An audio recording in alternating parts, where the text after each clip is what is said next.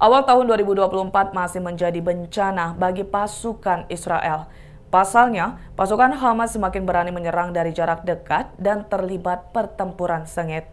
Pejuang Hamas dan IDF dilaporkan terlibat pertempuran di jalur Gaza di wilayah yang sudah terkepung.